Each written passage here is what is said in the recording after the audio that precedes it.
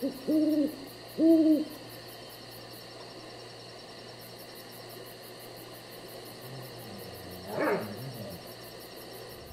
guys, what's up? Thanks for tuning back in. Uh, back over at my buddy John's over here. Uh, we got a lot, you can see behind me, we got a lot of rain the other day. Uh, his lake's kind of filling up slowly, but but surely. Uh, so we need to get going on some fish cribs.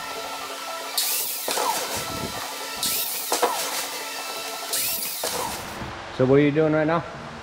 We're putting in this three foot piece. We're gonna zip tie it to this handle. It'll act as both a handle, but we're gonna leave this on. And then this is gonna act, you'll see later as we do this, we're gonna crisscross with different lengths. And we're gonna use this as our perimeter and zip tying it on all the way around. And we're finished. We'll put some concrete in the bottom of the bucket and this one will be done. Nice. And only three more to go. All right. All right, so we got one done.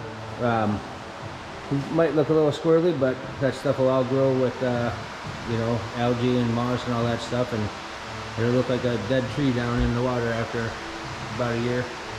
But fish will be attracted to it in probably about like two weeks once it starts to grow any little stuff on it. So, but of course we don't even have water in the pond yet. No, it's getting near over. They say we just fill up half of, about half that bucket with some concrete. Then we can adjust the pipes a little bit more. And uh, once it sets up, you know, it'll be. All right, so we got four of these guys done. Um, looks like that's going to be able to hold a lot of fish in that little area. So we're going to put some concrete in them, and then we're going to go uh, put them down in the lake there and let the water fill up and let them collect with shit. And looking pretty good though, man. That's going to hold a lot of fish. Looks cool. Think it's good, John? Perfect. All right, so we put this last little thing together here. There's some stuff that he had laying around the house. Put some slits in it for the water to fill it up, hold it down, everything. Um, took off the end caps. It's looking pretty awesome. Uh, whoops. Yeah, it's gonna be a good, good fish holding stuff right there. Perfect. That stuff's gonna get covered with moss and seaweed. It's gonna look glorious underwater.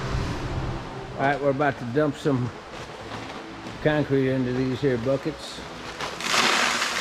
We'll put about 25 pounds in each one.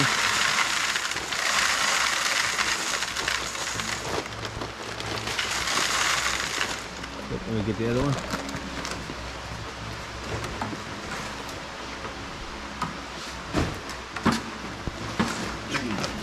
Nice good opening right there.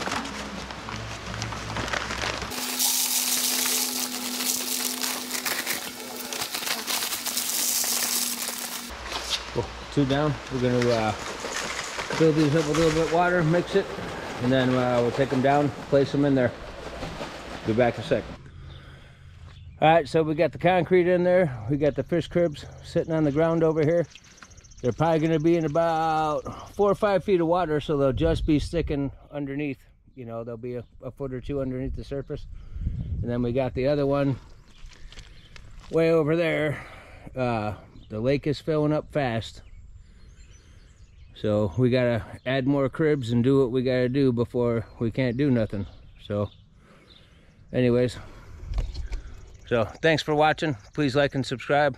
We'll get to more videos. Bye.